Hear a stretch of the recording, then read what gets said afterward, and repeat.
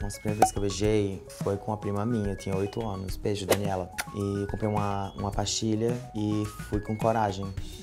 A primeira vez que eu me apaixonei foi, acho que na quarta série, por Gabriela. Beijo, Gabriela. É, eu fui entregar uma cartinha me declarando pra ela, ela saiu correndo.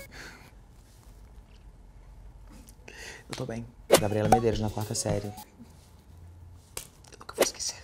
Ah, eu acho que na escola, quando eu era criança, viadinho, fresco, doente, artista, tudo significa a mesma coisa. Mesmo antes de eu saber que, seja lá qual era a minha sexualidade. O primeiro show foi em 2015, na festa Pajux, uma festa eletrônica lá de Natal. Eu cantei as Ilha Banks. Naquele momento eu percebi que eu nunca mais queria sair dos palcos e que o meu lugar era fazendo arte. E pouco tempo depois eu larguei a Universidade de Tecnologia e Informação pra usar peruca e, mais recentemente, orelhas.